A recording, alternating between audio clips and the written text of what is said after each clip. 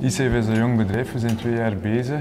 We zijn opgestart uh, met vrijstaande pakketbrievenbussen. Dus het is ons doel om van elke brievenbus een pakketbrievenbus te maken. Hier in de context van het 5x5 traject hebben wij een pakketbrievenbus oplossingen gemaakt voor appartementen. En we zijn begonnen met eigenlijk in de toekomst te springen van waar denken we dat dat naartoe gaat om dan met de resultaten van die oefening terug te springen naar vandaag. Wat kunnen we vandaag al bouwen? Zowel naar hardware en, en, en software en interface gekeken.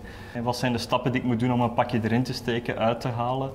Uh, maar nog moeilijker, ik wil een pakje terugsturen en ik wil een pakket steken en dan die pak, uh, pakjesdienst moet die er terug uithalen.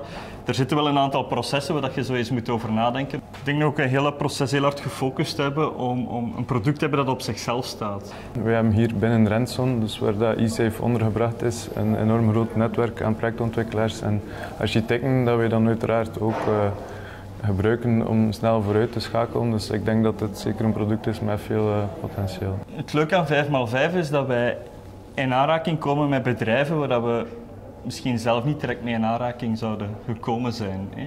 Het, proces biedt u een soort van matchmaking tussen, tussen bedrijven en, en ontwerpers.